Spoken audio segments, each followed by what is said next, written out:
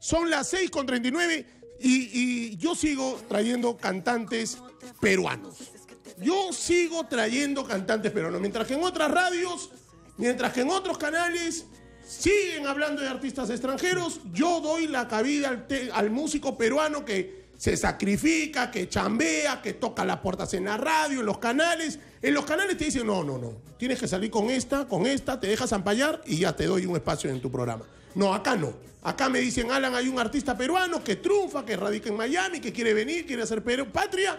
Perfecto, que venga. Y uno de ellos es Boris Silva. Un aplauso para Boris, que está aquí en Capital. Son las 6 y 40 de la tarde. Boris, ¿cómo estás? Bienvenido. ¿Cómo te va? ¿Todo bien? Todo genial, ah, me siento súper feliz más con tremenda introducción que haces. Un placer y un verdadero honor estar contigo, Alan. Pero, pero es la verdad, ¿no? Claro que sí. Eh, tú, tú naces en el Perú. Sí, es cierto. Y por, por un tema de, de- de- de chamba y por un tema que ahora me vas a contar, te vas a Miami, eh, te haces cantante allá y hoy quieres mostrar tu música aquí. Sí, y estoy, y estoy increíblemente feliz de tener la oportunidad de mostrarlo. Y sí, tal como dices, es difícil, pero yo pienso que donde está la dificultad también está la oportunidad. Así que siempre con una sonrisa, con el corazón y vamos para adelante, pues. Esta- estos jóvenes, ¿cómo me dejan? Ajá. Cómo, estos jóvenes, ¿cómo me dejan firmados que me quedan grabados en el corazón como tatuaje? Eh, ¿Cómo te vas a Miami? ¿Cómo, no me vas a decir en avión, no me cachosees. Este, ¿cómo, ¿Cómo llegas a Miami? ¿Cómo haces música allá? ¿Y cómo vienes a ver? Cuéntame un poco tu historia. Bueno, te, te cuento un poquito, ¿no? He tenido esos lazos familiares desde que era chico y cuando, y, y cuando me gradué del colegio acá, llegué para allá, me gané una beca.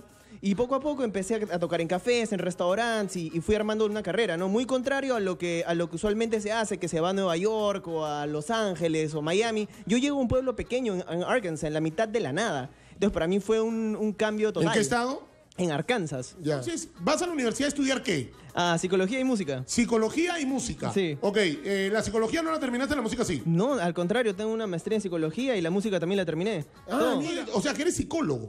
Sí, por ah, así man, ya, decirlo. pero también músico. Claro que ya, sí. Ya, bueno, la psicología Ah. la dejamos de lado, la música. Al, ¿Cómo? al cómo- contrario, yo pienso que la psicología la uso todos los días porque hay cada loco suelto en el mundo, mi brother, o sea que... Sí, es cierto, es cierto, pero, pero hoy en la conversación quiero dejarla de lado para hablar un poco de la música. Claro. Llegas a ser músico allá en Estados Unidos y de pronto te vas a lugares a cantar. Sí. Ya, ¿cómo, explícame, cómo llega ese, ese- esa oportunidad de cantar en un cafetín y después hacerte conocido y, y cantar en, en otros lugares? Porque, eh, eso quiero que me cuentes. Mira, y de hecho espero que hay muchas, yo sé que conozco que hay muchas personas aquí que quieren dedicarse a la música y en, mi- en mis redes sociales, en Boris Silva, que me pueden encontrar desde borisilva.com, en todas las redes sociales, siempre me hacen la misma pregunta, me dicen cómo lo consigo. Y la verdad, siempre mi respuesta es la misma, mediante disciplina. Por más de que haya empezado en cafés y todo, lo que siempre tuve era la visión de querer llegar más, más adelante, más arriba. No, está y bien. pienso que es una...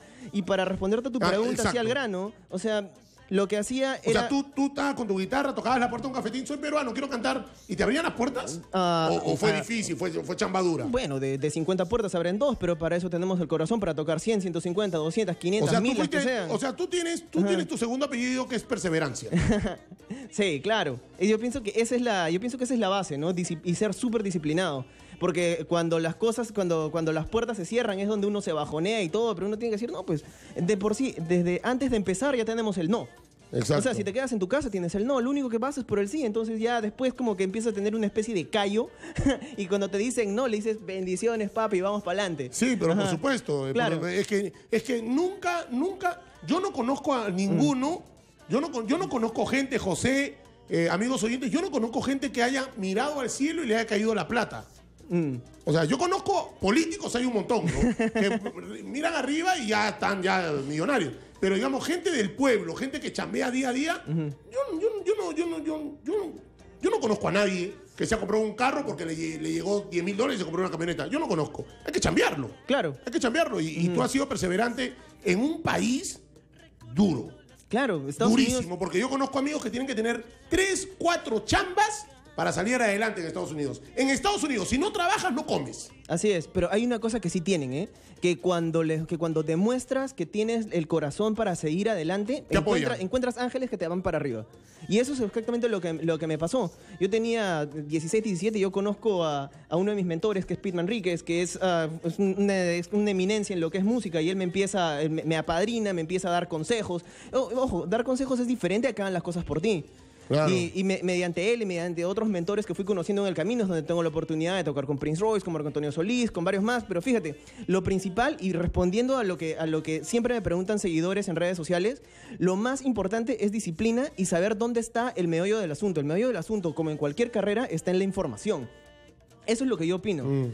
Porque en esta carrera, especialmente en la música, digamos, es muy diferente a ser doctor. Cuando quieres ser doctor, te metes a la universidad y vas desde ciclo 1 hasta ciclo 12, creo que es, y, y- y- y sigues para adelante, ¿no? En cambio, en la música no hay una especie de, De parámetros. de parámetros. Entonces es muy fácil pensar que estás corriendo y lo que estás en verdad haciendo es ir en círculos. Y por eso es que la, la información es lo, es lo que yo agradezco más haber sabido temprano, te soy sincero, en el momento que descubres, lo, que, que descubres el, el meollo de la, de la música es como un shock, pero cuando lo tienes en el corazón y lo amas de verdad, o sea, si hay una canción que me hace llorar es Vivo por ella, que es Vivo por la música, que ¡pah! es la única que me, que me impacta completamente, pero es porque, si estoy en esto es porque realmente amo hacer música. Es tu gran amor. Claro, Sí. es, una, es pasional y es, es perfecto y es, Es, lo como, que... es, como, es como yo con la radio. Exacto. Yo a la radio le hago el amor todos los días. Todos Ah. los días. Para mí la radio es el gran amor de mi vida. Dime que no en esa mesa, por favor. ¿eh? Eh, no, no, no, no, no. no. Es, eh, yo tengo un cuarto especial aquí Ay, en, el- en ay. el piso Ay, ay. 10. Pero Ay, yo, yo de verdad, este, Ajá. yo, yo el- la radio la amo. A mí cuando me dicen, oye, vamos a la televisión, no, hermano. La televisión es para. Yo soy el calmadipo de la FM. Déjame a mí acá. Yo estoy feliz aquí. Yo estoy feliz. La radio para mí es mi vida. Y aquí en Capital me siento como, un- como un rey. Y tú seguramente haciendo música también. Claro, el momento, el- digamos, es algo que, que hablo aquí con, con mi relacionista, con Ivette, que te le mando un Beth saludote. Pilco, que es mi amiga Ajá. de año, la conozco desde el año 2000, 2002. Guapo, guapachosa. Claro que sí. Guapachosa, ¿eh? Claro que sí. Y es de, la, de las mujeres que te muestran lo que es en verdad una mujer Sí, peruana que cuando cierto. te dice lo voy a hacer, lo hace. Sí, claro. Así es. Claro, claro. Eh, vamos a ir a la pausa. Y después me vas a contar, después me vas a, después me vas a contar el, el- el- el rubro de música que haces. Ahí tenemos algo, ¿no? A ver. Me vuelve loco tu pelo, tu boca, tu piel, tu cintura. ¿Suena bien? ¿Suena bien? Eso sabes para qué, ¿no? Mesa redonda, tú al frente, ella al frente, una vela, una copa de vino y de ahí que venga todo. ¿Ah? Listo, nos vamos a la pausa. Suena bien lo de Boris Silva. Pausa, regresamos con más. Estamos con Boris Silva. Es peruano, se mató trabajando en Estados Unidos y hoy quiere decirle al Perú, existo, aquí estoy. Pausa y regresamos. Para mí, te busco en la tarde.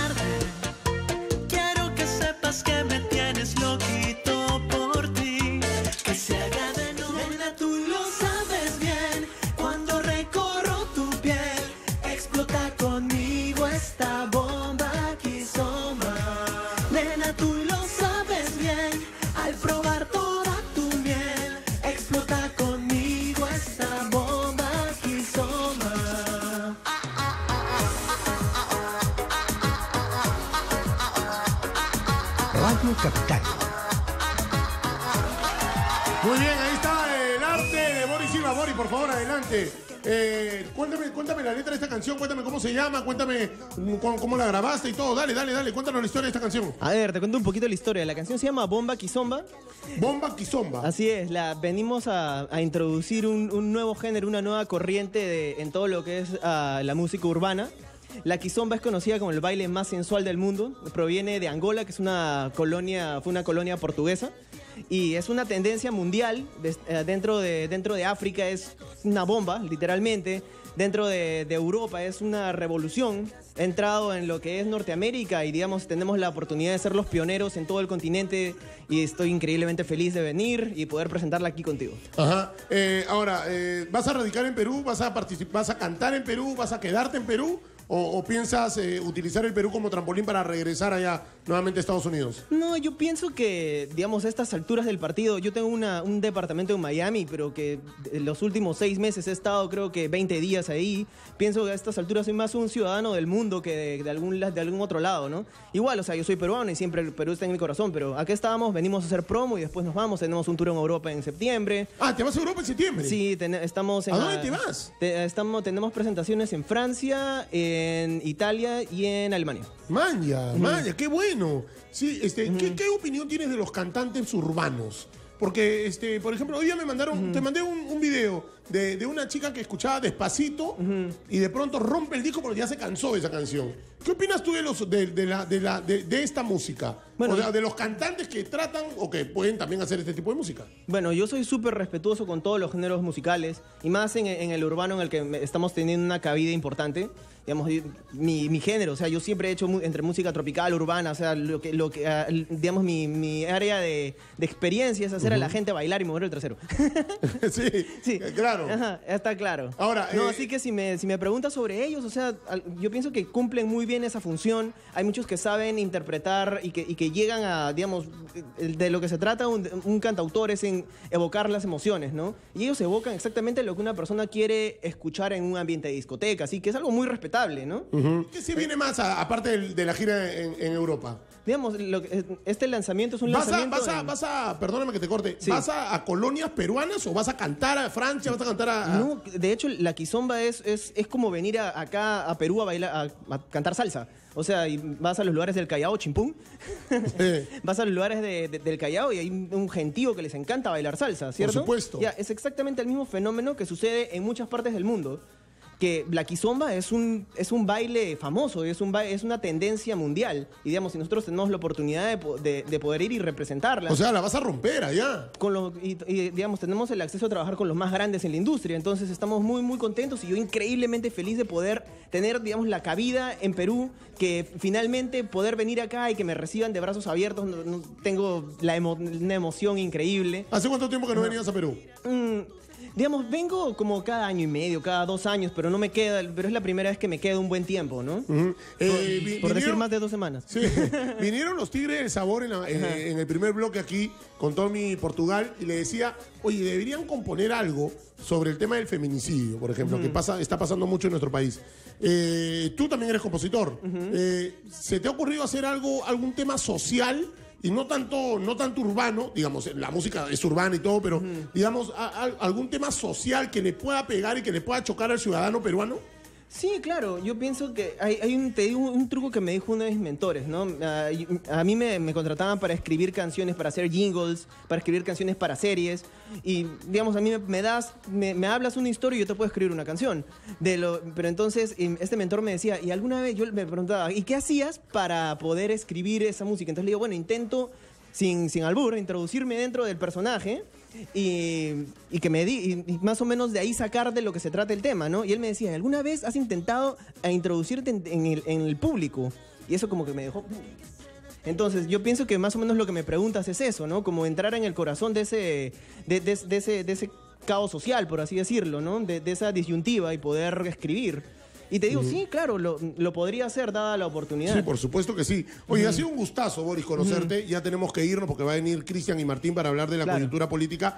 Pero estoy contento de que, eh, re- repito, y, y voy a decirlo hasta la saciedad, Radio Capital y este espacio de 5 a 7 está feliz de abrirle las puertas a estos chicos que han, eh, eh, quieren triunfar, quieren tener un nombre en la música del Perú. Eh, y, y aquí estamos, aquí estamos para darte las, para darte la- la- las buenas ondas, la buena vibra aquí en la radio. Vente cuando quieras, vente después de tu gira de Europa, cuéntanos qué tal te fue, seguramente te va a ir súper. Y déjanos bien en alto el nombre de nuestro país, pues que estamos bien ahí. Siempre, siempre lo llevo en el corazón. De hecho, cuando entré a mis redes sociales, en los Latin Billboards, hay una foto en la que justo cuando estábamos pasando por los momentos difíciles, ah, me llevé un- el escudo de Perú en el pecho y lo pasé Ajá. por todos lados. Así que es lo que te digo. Siempre, siempre con mucho orgullo uno puede viajar por el mundo, pero nunca olvidar de dónde viene. Y eh, yo creo que eso tú también lo sabes muy bien y te agradezco mucho por tenerme aquí. Gracias, Boris. No, de todas maneras, un gran abrazo para Boris Silva. Él se va a Europa en septiembre, pero pueden encontrarlo en dónde? Ah, me pueden buscar en redes sociales, todas las redes sociales, Boris Silva. Me buscan también en YouTube Boris Silva y escuchen Bomba Kizomba, que es una bomba. Ok, bomba Kizomba, eh, que es una bomba.